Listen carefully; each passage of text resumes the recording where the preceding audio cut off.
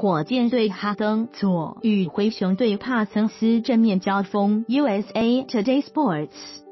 记者卓家平综合报道，灰熊队高富帅帕森斯 （Chandler Parsons） 今天在主场面对前东家火箭大胡子哈登 （James Harden） 与新队友保罗 （Chris Paul） 组成坚强后场，两人携手攻下四十六分。灰熊中场以八十三比一百零五大比数落败，苦吞四连败。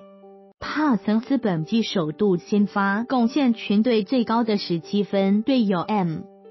加索格林各有十五分，帕森斯攻下全队最高分，还是难敌老东家火箭。USA Today Sports，今天是火箭队后卫保罗膝伤归队后第二场赛事，他攻下十七分六助攻，哈登、保罗联手主宰比赛，火箭几乎整场领先，灰熊仅超前过一次。保罗牺牲为队后，第二役砍下十七分，美联社。